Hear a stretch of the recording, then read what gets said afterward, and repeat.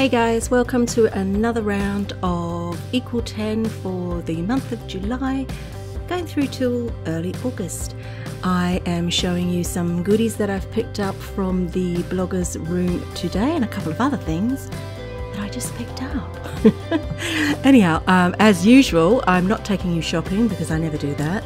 I'm going to show you the items and, you know, just see a little snippet of what you can find yourself there. It's not hard, you just walk around and you go, oh, I like it. So, uh, without further ado, uh, here we have Equal 10 for July. And believe me, this is not all of it either. See you later. Bye.